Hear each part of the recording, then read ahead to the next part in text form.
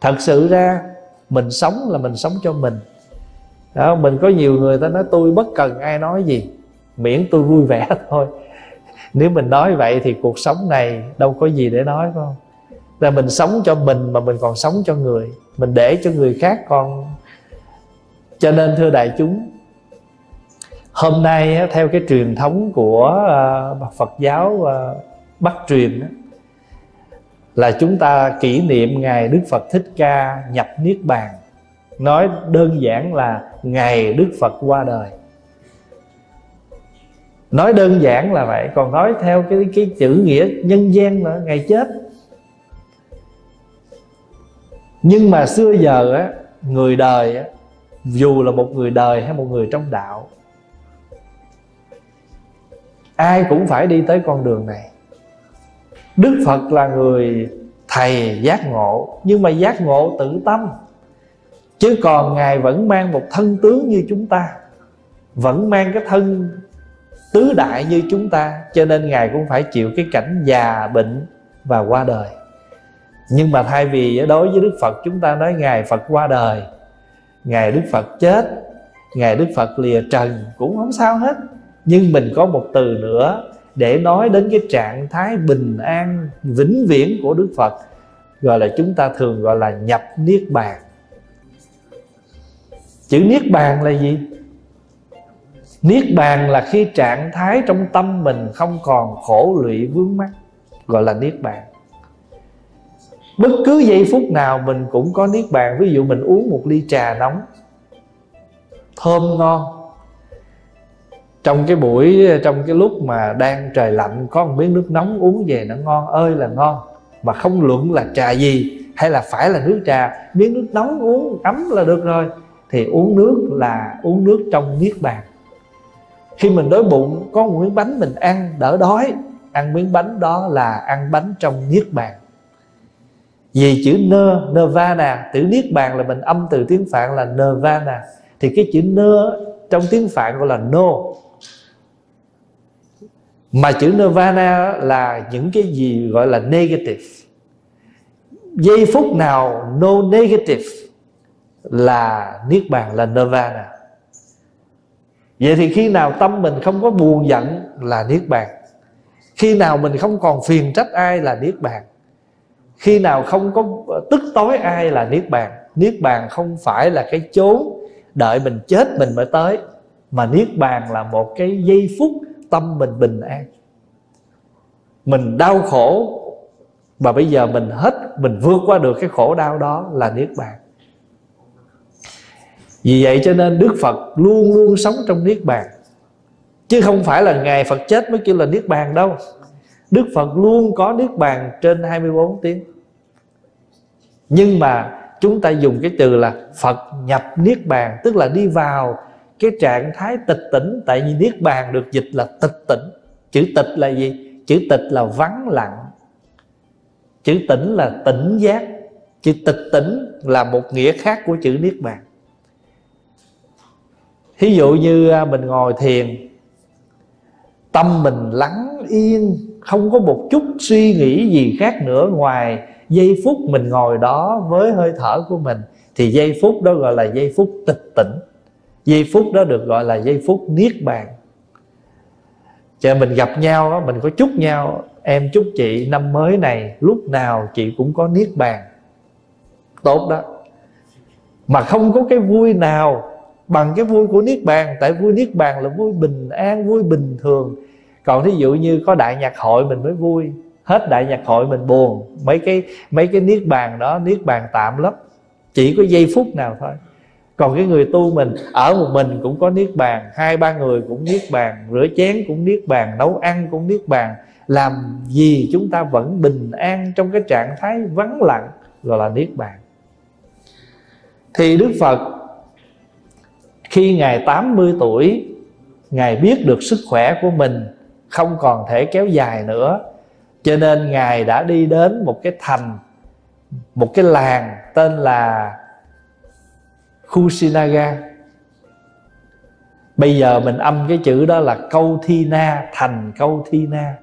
Cái địa danh đó bây giờ vẫn còn, Người ta vẫn dùng cái từ đó, Thành câu thi na. Thì ở đó là một cái bộ tộc. Thì đức phật chọn nơi đó không quá gần những cái thành phố lớn. Trong khi đó, đức phật, đệ tử là vua chúa rất lớn như thành xá vệ. Vân vân mà ngài lại không chọn ở nơi đó để ngài mất mà ngài chọn đi về một cái khu vực mà ngài chưa đến đó. Cho nên ngài đi đến cái khu vực à, câu thi na đó rồi dặn ngài nang dọn chỗ sẵn hết để ngài lên đó ngài nằm. Và khi đó ngài mới dặn dò lại các vị đệ tử những lời sau cùng. Chúng ta gọi những lời sau cùng này là di giáo di là gì? Di là để lại. Giáo là lời dạy. Di giáo là lời dạy để lại cho người sau. Còn mình bây giờ á, là sợ chia của cho nên mình phải để di chúc. Mình sợ bất hòa cho nên mình để di chúc. Quý vị thấy không? một cái người một người cha một người mẹ để lại cho con á không phải là cái di chúc chia của quý vị để lại cũng không sao nhưng nhớ trong cái di chúc đó có một lời dạy gì cuối cùng. Ví dụ thôi à, cái nhà của má bán ra chia 5 phần. Cái hũ hột sòn của má có 24 hột má có 6 người con chia đứa mấy viên. Không sao hết cái đó cứ làm. Nhưng cuối cùng phải để một lời dạy. Các con nên nhớ tiền của chỉ là vật chất công khổ ba má dành dụm để lại cho các con là một món làm cái của. Nhưng nhớ rằng tiền của chỉ là vật chất. Khéo xài thì lâu, không khéo xài thì hết. Đừng vì tiền của mà anh em bất hòa. Anh em nào khá giả hơn, nhớ quan tâm tới người anh em khó khăn. Cái đó mới là cái di chúc của cái người mà có tuệ và của cái người mà mình biết rằng á, người xưa dặn á, tích thư dĩ di tử tôn tử tôn dị tất năng đọc. Mình để in thơ, để sách vở lại cho con, chưa chắc gì con cái mình nó đọc. Tích kim dĩ di tử tôn tử tôn dị tắc năng thụ để vàng của lại cho con, chưa chắc gì con cái giữ gìn chỉ một cái thôi, tích cái âm đức cho con. Đó là cái kế trường cửu lâu dài. Cho nên mình có quyền để lại một cái di chúc cho con. Tiền của không có gì sai. Nhưng với người học phật hiểu biết, mình nên thêm một câu ở trong cái bài di chúc đó là những lời dặn sau cùng của cha mẹ. Hay là trước khi mình chia của, mình viết một lá thơ hôm nay ngày mấy tháng mấy? Trong khi má còn đang rất tỉnh táo, má có mấy lời để nhắc nhở lại các con. Và thậm chí mình biết mỗi đứa con nó có những cái tật nào mà bình thường mình khỏe, mình nói nó không nghe. Con thường ngày, con ít có lắng nghe những cái lời má nhắc nhở. Mỗi lần má nói đến là con nổi cơn giận tức vì vậy cho nên má ít khi nào có cơ hội nói hết những gì trong lòng má muốn nói với con có thể khi má mất rồi, má không còn, thì đây là những lời con có thể giữ lại để đọc rồi mình mới nhắc nhở người con quý vị nào có đọc cái bài học à, đọc cái quyển sách có tên là bài học ngàn vàng ai có cái cơ hội đọc cái quyển đó của hòa thượng thiện hoa ngày viết đó ngày xưa có một ông vua đó, ổng đi bỏ ra ngàn lượng vàng để mua một cái bảo vật. Cuối cùng ông mua một câu thôi. Mà quý vị biết là bỏ ra ngàn lượng vàng mua một câu trong cái túi vải đó thôi. Cái câu đó là gì phải không? Trước khi làm việc gì, phải suy nghĩ đến hậu quả của nó. Có một câu đó thôi mà ông vua phải đi tìm khắp nơi, khắp chốn bỏ ra biết bao nhiêu tiền của để mua một câu đó thôi. Tưởng đâu là cái câu gì quý báu để mà dạy cho ông trị nước an dân. Cuối cùng là cái câu đó. Nhưng mà thật sự, câu đơn giản đó mấy ai để ý quan tâm. Nhưng mà đến khi hữu sự thì mới thấy nó quả thật là chí lý. Trước khi làm việc gì, phải suy nghĩ đến hậu quả của nó trước khi mình nói một việc gì cho ai, mình có suy nghĩ hậu quả không? Trước khi mình làm một việc cho ai, mình có suy nghĩ hậu quả không? Mà suy nghĩ đó tức là thiện nghiệp của cái ý, dẫn tới hành động là thiện nghiệp của thân, đưa tới lời nói là thiện nghiệp của miệng. Mà người mà sống có thiện nghiệp như vậy thì nhất định khi họ mất đi, thiện thú tức là cái nơi chốn thiện lành chờ đón họ. Cho nên đó đức phật để lại di giáo, tức là cái lời dạy của đức phật. Đức phật không có để gì là hết à. Còn cái chuyện mà nói là phật truyền y bác đồ cho đệ tử đó là một tính vật, một biểu tượng để cho người sau duy trì. Nhưng mà cái chính yếu, quý vị thấy không? Y bác bây giờ của đức phật để đâu biết không? Không ai biết hết. Vì sao? Vì cái đó là của vật chất có để tới cỡ nào đi nữa rồi, năm qua tháng lại chiến tranh giặc giả cuối cùng cũng mất, cũng đâu còn. Chỉ có cái gì còn? Chính lời dạy này 2.600 năm nay vẫn còn đó, Mặc dù nó chỉ là những chữ nghĩa. Còn cái y bác mà trong trong kinh nói là Đức Phật truyền y bác lại cho người này, người kia đó, Bây giờ có ai biết y bác nằm đâu đâu? Thì rõ ràng tất cả chỉ Cái gì có vật chất cái đó chỉ là tạm. Bây giờ quý vị nào qua Ấn Độ, Quý vị đến à, thành à, Ca Tỳ La Vệ Mà nơi Thái tử đã từng sống, Bây giờ không còn gì hết. Những cái thời mà động đất, những cái thời đó hơn hai ngàn năm rồi, những cái thành đó nó chôn vùi ở dưới lòng đất, sau này người ta mới khai quật lên được một số nền. Những cái số cũ rồi người ta dựa theo cái cái bản vẽ cũ đó, người ta cất lên một số gạch lên để người ta tạm thấy cái đây là cái nền của thành ca tỳ la vệ ngày xưa. Rồi đây là cửa đông, cửa tây, chứ thật sự nói thôi, chứ giờ tới đó là chỉ là một miếng rừng hoang, đất trống, rồi có một số gạch vụn để đó. Mà không phải chỉ một cái cái thành ca tỳ la vệ đó, mà rất nhiều chỗ. Cho nên mình mới biết rồi bây giờ quý vị như hồi xưa quý vị coi phim bao công đó, à, gọi là cái gì? Khụ phủ khai phong. Ở đời bắc tống ở lạc dương. Bây giờ đi về cái vùng đó vẫn đi mình vẫn tìm được phủ khai phong nhưng mà thật sự phủ khai phong đó là mới xây lại năm 2003 chứ còn toàn bộ cái phủ khai phong đó đã đã không còn gì hết những cái cơn lũ lụt, những cái trận chiến tranh không còn gì hết. Cẩu đầu đau, hổ đầu đau, gì không còn gì hết. Tất cả chỉ là phục dựng trở lại để gọi là kỷ niệm. Chơi cái gì có hình tướng, cái đó hoại diệt và không bao giờ tồn tại.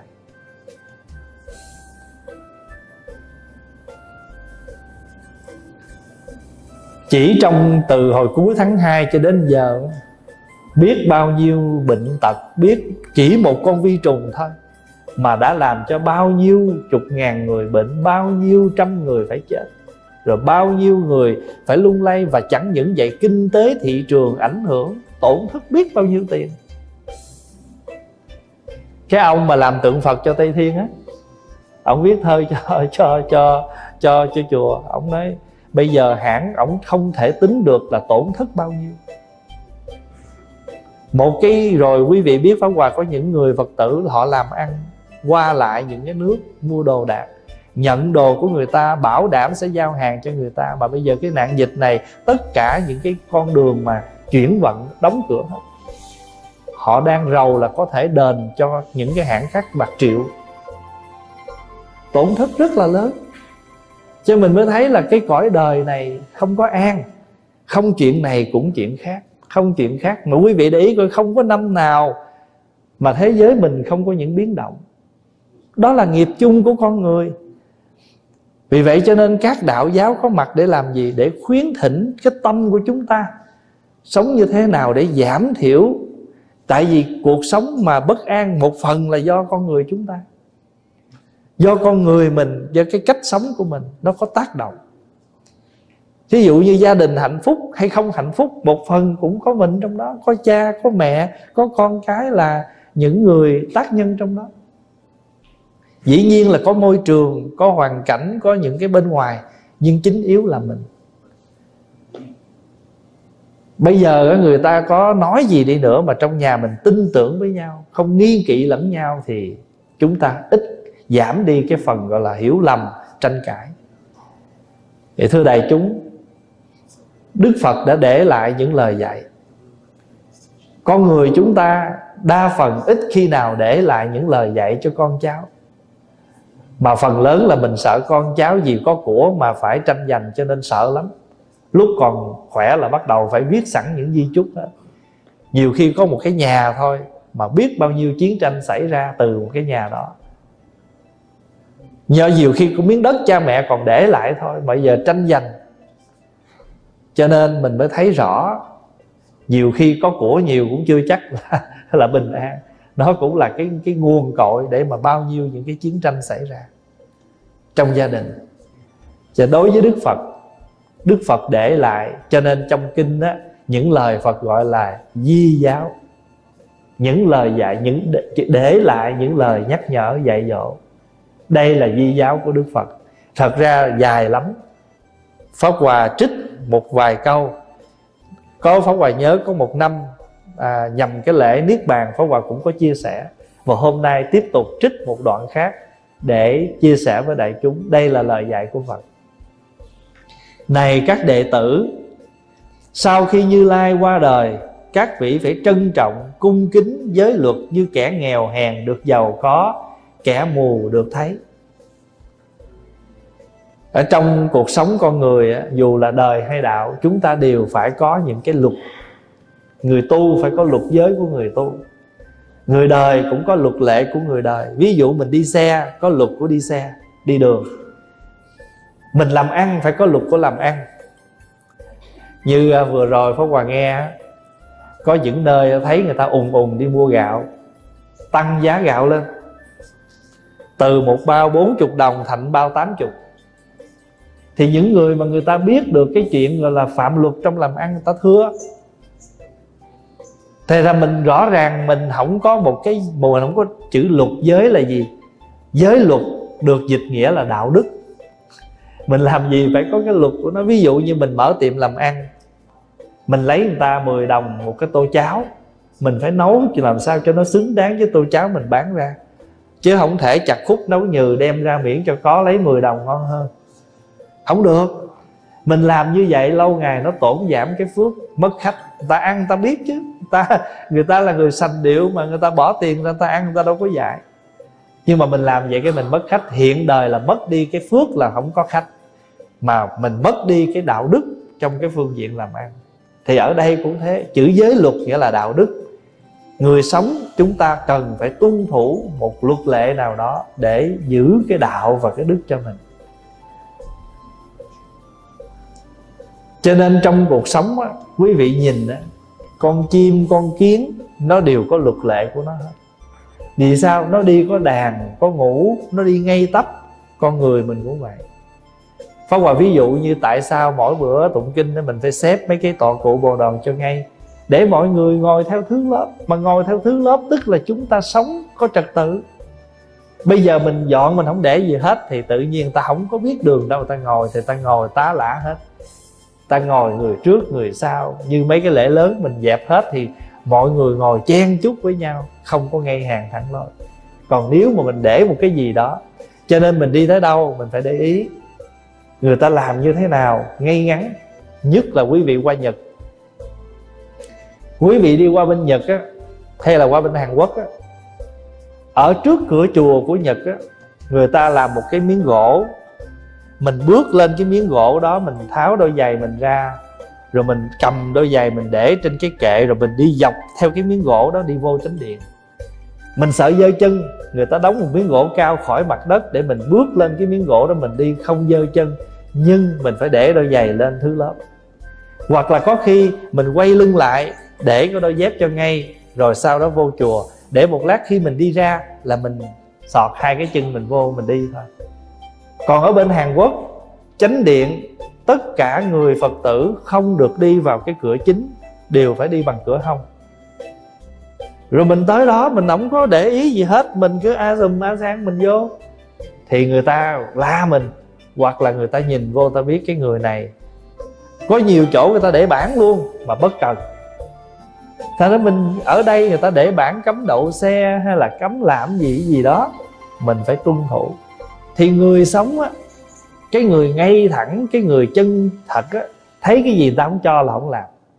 Ví dụ như những cái cửa ta khóa Khóa cho người người ngay hay người gian. Cửa khóa là khóa người ngay hay gian? Khóa người ngay.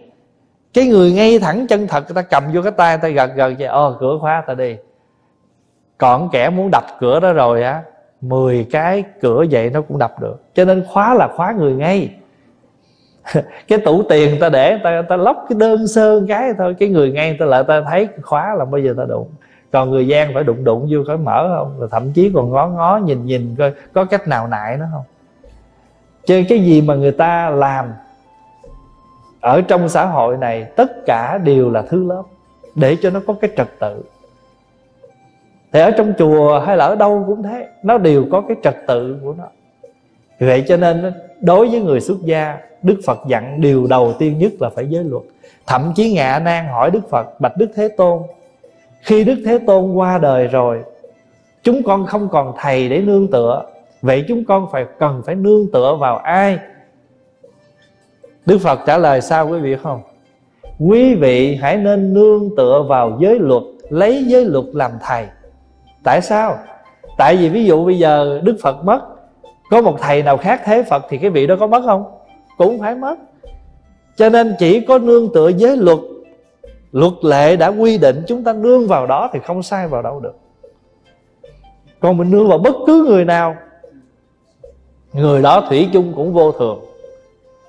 Cũng sanh già bệnh chết, rồi làm sao mình nương tựa mãi mãi và vĩnh viễn được?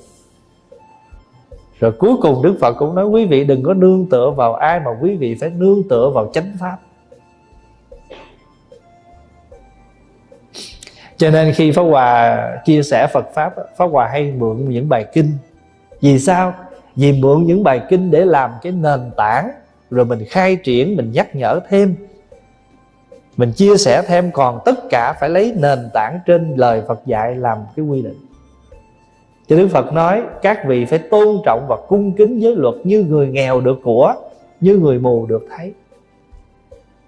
Người sống mà có đạo đức đó là cái tài sản quý nhất của mình. Vì sao? Vì đi tới đâu cũng không bao giờ bị người khác chê bai, coi thường. Vì mình sống lúc nào cũng có cái căn bản đạo đức. Cho nên căn bản nhất của người phật tử là giữ năm giới.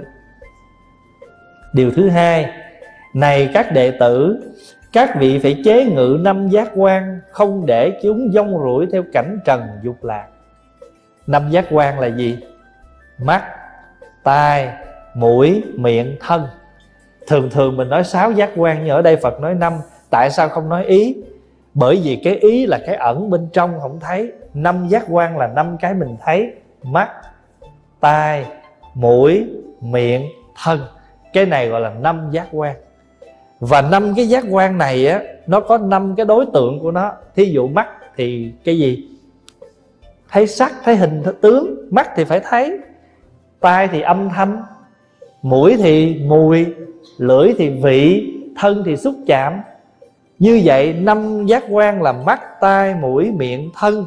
Nó đều có năm cái đối tượng của nó là hình hình sắc, âm thanh, hương, vị, xúc chạm. Và nếu chúng ta không có, gọi là chế ngự, đức phật không có biểu là đi đâu nhắm mắt đức phật không có biểu là đi đâu lấy gòn bịch lỗ tai mà đức phật dùng cái từ là chế ngự năm giác quan. Nghĩa là vẫn dùng năm giác quan này nhưng mình phải cẩn thận đừng để nó rong rủi Pháp Hòa ví dụ như à, có người người ta thích nói chuyện người khác mà mình cứ thích nghe thì cái đó mà là cái đó là mình rong rủi lỗ tai rồi đó thay vì cái lỗ tai mình phải nghe những lời gì cho nó lành mạnh, riết cái tự nhiên mình trong cái đầu mình đó từ bà hai xuống tới bà mười, không có bà nào tốt hết. Tại vì mình đều nghe những cái lời người khác nói, cho nên cái lỗ tai mình nó rong rủi ví dụ như giờ mình ngồi đây, nghe pháp, ở dưới chiên chả giò thơm bay lên, cái lò lỗ mũi mà nó rong rủi rồi đó nói chà ở dưới bữa nay chiên gì mà thơm quá vậy ta? Cái khiều khiều người kế bên hỏi ngửi được mùi gì không? Tôi ngửi mùi chả giò. Tôi cũng nghĩ về mà nghĩ kỹ không phải đâu. Chắc uh, uh, bột chiên.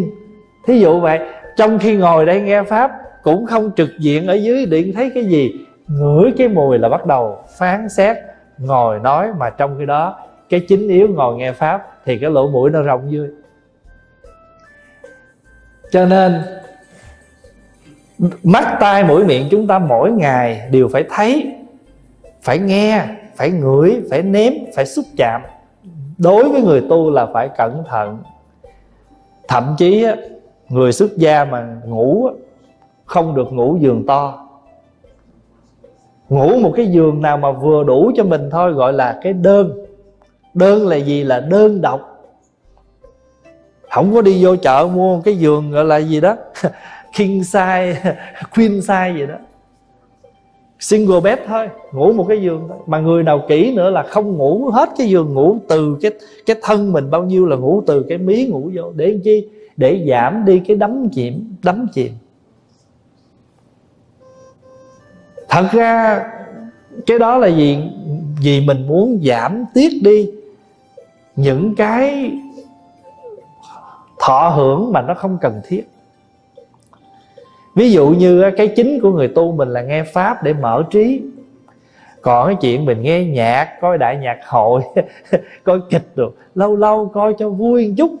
Nó là cái entertainment, cái giải trí, nó không phải là cái chính mà người tu quan tâm. Thậm chí nghe nhạc hay là coi xong rồi, không nhớ gì cũng sao nó không phải là cái chính của mình. Ngay cả phật, mình, đời sống mình cũng vậy thôi. Nếu mà quý vị cứ tưởng tượng mà mình, cái cái nhà mình mà nó mở 24 trên 24 nhạc và kịch, thì trong đầu của mình không có gì ngoài nhạc với kịch, mà những cái gì mà hay ho, tin tức thế giới, những cái gì mà nó có thể mở mang cho mình những cái kiến thức, không có. Ví dụ về cái nạn dịch sao đang đang đang xảy ra nè. Mình phải mở rồi người ta dạy mình cái cách rửa tay cái cách phòng dịch sao? Chứ mà để mình đi ra đường mình còn ngừa bệnh được chứ. Không nghe gì hết trơn rồi biết chuyện gì xảy ra trên thế giới người ta chỉ cách cho mình sao? Đó, ví dụ như giờ người ta nói tới cái chuyện người ta chỉ cho mình rửa tay thôi người ta dặn là phải rửa vào những cái cái cái cái cái kẻ của hai ngón tay. Và thậm chí phải lấy mấy cái đầu ngón tay mình đó rửa ở múc một cái miếng uh, nước rồi rửa lấy mấy cái đầu ngón tay rửa vào đó. Chứ không phải kiểu như mình mà giờ dò tay kêu là xong đâu. Tại vi trùng nó có thể nằm ở đầu ngón tay. Cho mình phải rửa mấy đầu ngón tay cho lâu. Mà cái cái khoảng thời gian nào người ta nói mình hát đủ một bài hát happy birthday. Mình nói happy birthday to me to you vậy đó. hát xong bài đó là đủ cái thời gian để rửa vi trùng. Chứ không phải mình sọt sọt vô mấy cái rồi dội vô nước kêu, kêu là rửa tay mà mình phải biết cách rửa cho nó đúng. Thì thì cái đó bây giờ đang có những cái trường hợp gì mình mở tin tức hay mình mở những cái gì người ta hướng dẫn. Bây giờ trên TV trên YouTube có những bác sĩ người Việt ta chia sẻ nhiều cái bài hay lắm. Cách phòng bệnh bao tử cách chữa bệnh à, tại sao lý do nào mình bệnh này bệnh kia mình nghe để mình mở mang mình biết. Sợ bệnh mà không chịu nghe mấy cái đó thì làm sao mình hết bệnh? Mà trong khi đó mấy cái kịch nhạc thì nghe cho vui chứ, có làm gì hơn được cho mình đâu. Cho nên tiếng mỹ gọi là entertainment, tiếng việt gọi là giải trí. Đã là giải trí thì vui thôi, chứ không phải là cái chính. Cho nên chữ chế ngự là vậy đó, không phải là cấm. Nhưng mà chúng ta phải tiết chế nó. Tiết chế nó. Thí dụ mình ăn, ví dụ bây giờ mình nói là ăn bơ, bổ, ngon, thơm. Nhưng mà không tiết chế, ăn nhiều mỡ chết bất cứ những cái gì nó ngon đó nhưng mà phải tiết chế còn không là sanh bệnh. Thì chúng ta mỗi ngày vẫn phải sử dụng mắt tai mũi miệng thân. Nhưng phải chế ngự để chúng ta không rong rủi theo năm cảnh là sắc thanh hương vị xúc. Đây, bây giờ bắt đầu mới vô từ chuyên môn của Phật học không? Năm căn là mắt tai mũi miệng nói tiếng Hán là nhãn nhĩ tỷ thiệt thân nhãn nhĩ tỷ thiệt thân này là mắt tai mũi miệng thân. Nó có năm cái đối tượng của nó là sắc, thanh, hương, vị, xúc. Sắc là hình sắc, thanh là âm thanh, hương là thơm, mùi. Vị là cái ném xúc là cái chạm. Mà con người mình lúc nào cũng vướng vào sắc, thanh, hương, vị, xúc. Chứ mình không có chế ngự thì mình rong rủi. Chứ rong rủi là mình buông luôn theo nó. Này các đệ tử khi thọ dụng phẩm vật cúng dường Các vị nên quan niệm như uống thuốc. Ít có ai mà nghĩ vậy lắm. Đa phần là mình nghĩ ăn cho ngon. Nhưng mà cái ngon đó nó có có cho mình được cái cái sức khỏe thì mới gọi là ngon. Còn ngon mà không có sức khỏe thì nó thành độc. Cho nên đó, các người mà xuất gia trong chùa đó Tại sao phải nói là ăn như thuốc biết không? Để giảm đi cái tật khen chê mà con người mình nó khổ nổi cái người người ta bỏ ra cả giờ, cả ngày người ta nấu. Mình không nhận ra cái cực khổ người ta. Lên ngồi ăn vừa đưa vô miếng trời, làm gì mặn chát. Dở ẹt. Mà trong khi đó người ta đem hết sức của người ta trong một ngày nấu, mình không nhận ra cái đó, có phải là mình tội không? Tội nghiệp người ta. Cho nên nói uống thuốc là để làm gì? Để mình tránh đi cái trường hợp là khen chê, làm cho người khác buồn mà thật tình đó là thưa đại chúng đó, thức ăn quả thật là một món thuốc. Mình uống thuốc không bằng ăn. Phá Hòa ví dụ như một ngày mình uống một viên à, vitamin C. Dù nó là vitamin C nhưng mà cái gì nó biến chế Nó nhất định phải qua những cái cái cái cái hóa chất. Còn trong khi đó mình mua nước cam tươi Mình uống một ly nước cam tươi. Mình uống những cái loại trái cây nó có chất vitamin C. Nó vẫn tốt hơn mình uống một viên thuốc Nhưng mà người ta làm gọn để làm gì? Để cho mình đi đường mình cuộc sống mình dễ dàng khỏi có mất công. Nhưng mà cái ăn nó vẫn hơn. Pháp Hòa có một chị Phật tử Chỉ bệnh ung thư. Cái bướu 3, 3.6 cm Gần 2 năm nay Chị không ăn một hộp cơm Một miếng bánh nào trong người Không có một thức ăn nào trong người hết. Hoàn toàn là uống nước rau. Uống nước rau củ thôi. Mà bây giờ cái bú đó nó nhỏ xuống còn 1.1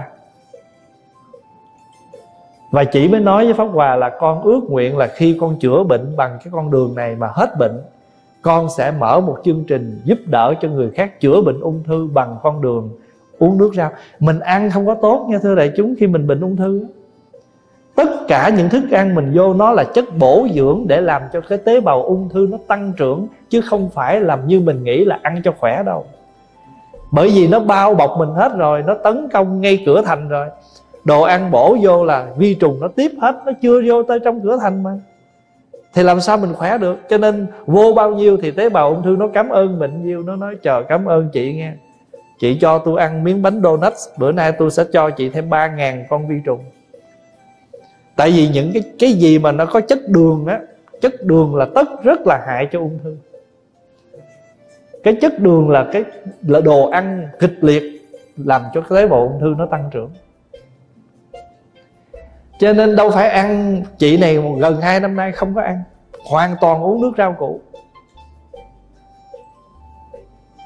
Uống nước rau củ và và và trị bệnh.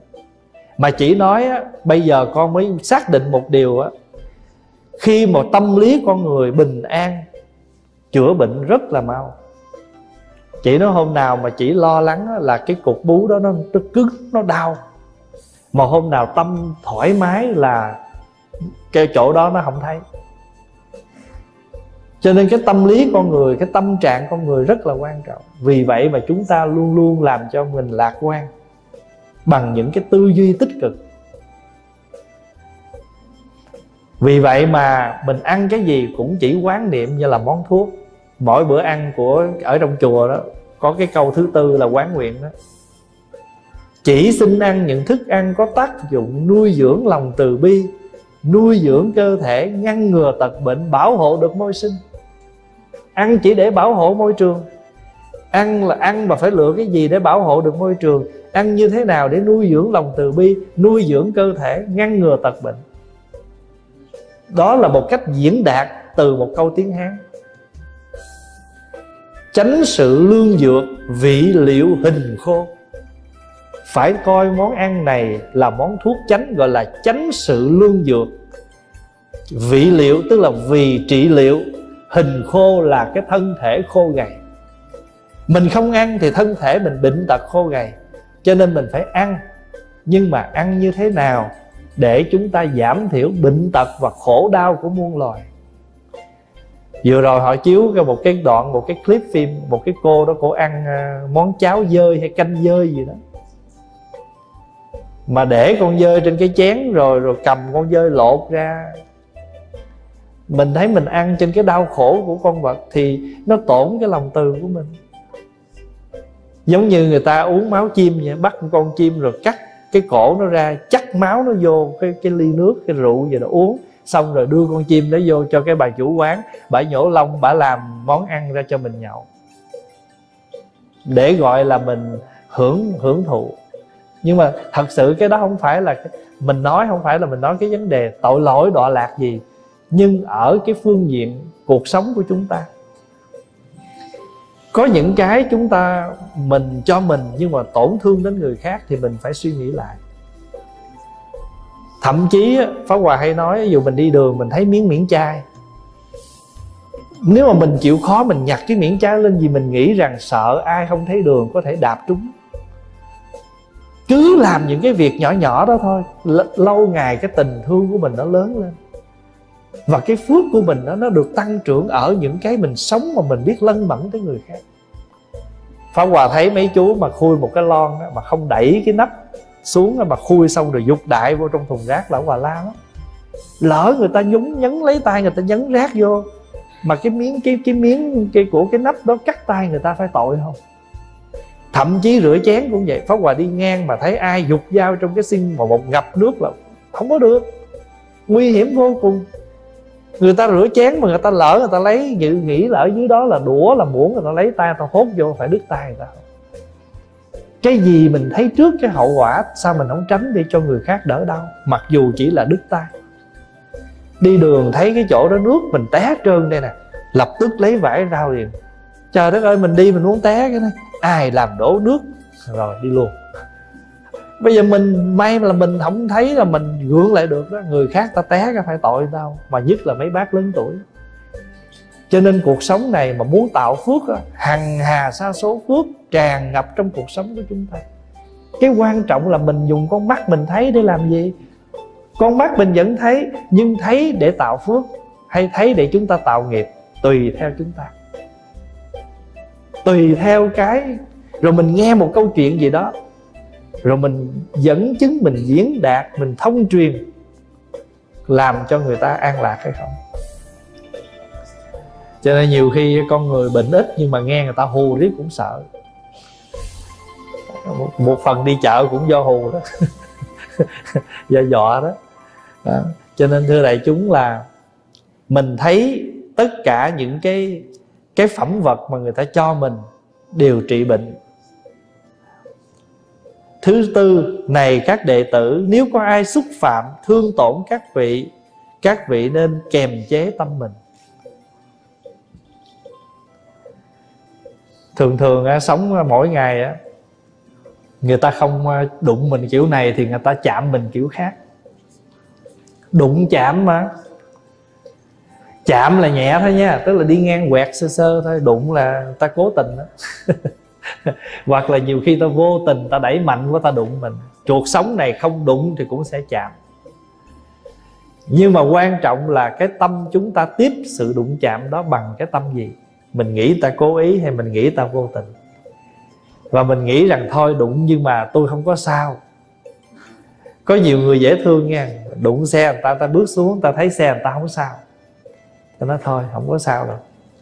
Ta tha cho mình nhưng mà ngược lại, có những người làm gì? Lợi dụng một cái đụng nhẹ đó để mà ăn tiền suốt đời. Cũng có. Cho nên á, mình phải kềm chế cái tâm mình. Tại vì tùy cái tâm, lợi dụng cái việc gì đó để mà mình làm khổ người khác.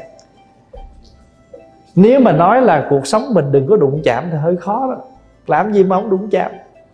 Nhưng mà cái quan trọng là cái tâm của mình đã tiếp xử mọi sự việc như thế nào? Để chúng ta cảm thấy sự việc nó nhẹ nhàng ra. Rồi, thưa đại chúng bây giờ những cái lời này là Phật dạy phải không? Mà nếu chúng ta mượn vô những lời này mà chúng ta dạy lại cho con cháu chúng ta thí dụ như cái câu hồi nãy cuộc sống làm gì không có những đụng chạm các con nhớ lấy cái tâm mà ra đối xử với mọi người và nhớ rằng sống ở đời thêm một người bạn sẽ giảm được một người thù. Đó là những lời di giáo mà chúng ta có thể để lại cho con cháu chúng ta. Không hẳn là tiền của. Cho nên nếu mình có của để thêm cái lá thơ này. Còn nếu không có gì để phải không? Cũng để lại một di chúc đi. Mà di chúc đó chính là những lời nhắc nhở. Pháp Hòa hay nói với mấy bác á Bây giờ cái xã hội tốt á Phương tiện tốt rồi quý bác tụng kinh đi. Tụng kinh thâu vô một cái clip Tụng hay, tụng dở gì đừng có lo. Tụng để làm gì? Để cho con cháu mình có kỷ niệm. Mai mốt mà mình có trăm tuổi, Con cháu mình nhớ mình Thì mở mấy cái máy này lên nghe. Chứ còn nếu mà hồi xưa không có phương tiện Thì đâu có lưu lại cái âm thanh, tiếng nói của mình. Còn bây giờ phương tiện quá, Quý vị nên làm. Quý vị nên làm. Ai có cái cell phone đó, Mở bấm lên cái nút thâu đó, Những lời nhắc nhở hoặc không biết gì hết, Lấy bài kinh ra tụng. Nhất là kinh báo hiếu phụ mẫu. Tụng bằng cái âm thanh của mình. Má không có gì để lại cho con. Má để lại cho con một cái clip tụng kinh của má. Khi nào các con nhớ má, Các con mở ra nghe. Các con nhớ ba mở tụng kinh ra nghe. Mà nghe cái bài phụ, báo hiếu phụ mẫu, tự nhiên con thấm thiết ở đây có một đạo hữu, khi mà khi mà rơi vào cái bệnh, đạo hữu đã dùng cái bàn tay của mình trong cái bệnh tật đó mà viết lại một quyển Phật pháp để lại cho các con. Bây giờ có thể các con chưa thấy quý nhưng mà khi mình đi rồi những lúc giây phút nó nhớ mình nó mở cái cuốn đó ra thì lúc đó nó sẽ đọc những gì mà mình để lại cho con cháu. À, quý vị thấy có thể lúc mà phật mất thì cái lời di giáo này không thấm.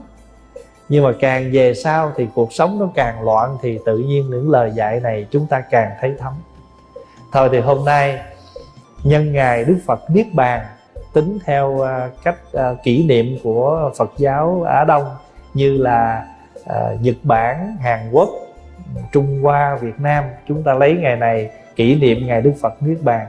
Thì Pháp Hòa cũng trích lại một vài câu chứ chưa toàn bộ cái bài kinh di giáo của Phật nha. Nếu mà muốn học hết cái bài kinh di giáo Phật dài lắm nhiều thứ Phật dạy lắm Pháp Hòa chỉ trích một vài câu để chia sẻ với đại chúng thêm nhân cái dịp lễ này. Và nhân cái này chúng ta có một cái suy nghĩ thêm nữa. Chúng ta hãy để lại cái lời dạy gì cho các người thân của mình. Có thể là bạn bè, anh em cũng không sao hết. Nên có một cái lời nhắc nhở để lại, để người sau nương vào đó mà sống có mực thước. Mà sống có mực thước có đạo đức thì sống có giới luật. Mà người sống có luật lệ thì không có làm cho mình bị tổn thương, không làm người khác tổn thương. Đời này mình được tròn vẹn cái nhân cách, đời sau mình được cái phước báo.